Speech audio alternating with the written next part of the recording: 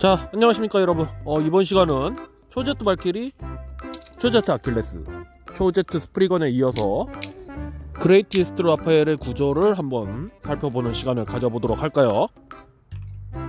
자 그레이티스트 라파엘 역시 원심력에 의해 반응하는 gimmick이 장착되어 있는 베이죠.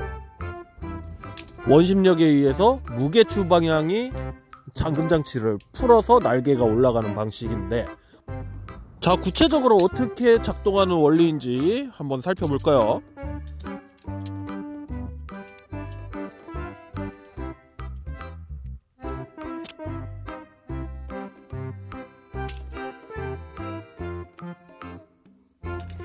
어 스프링이 아슬아슬 걸려있네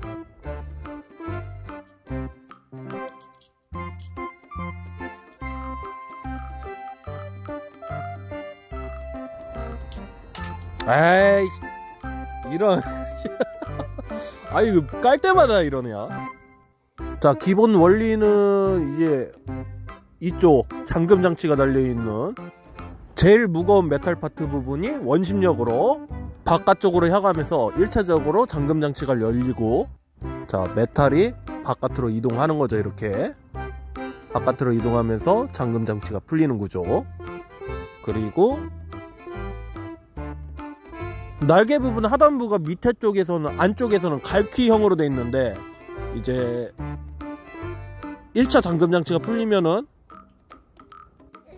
이제 이 흰색 파트 부분이 스프링에 의해서 밀려나면서 저 갈퀴를 밀어내 주는 거죠. 밀어내 주면서 날개가 펴지는 거죠. 이 흰색 레버에 스프링이 달린 파트는 날개가 밑으로 처지지 않도록 상단부로 치켜 세워 올려주는 역할을 합니다.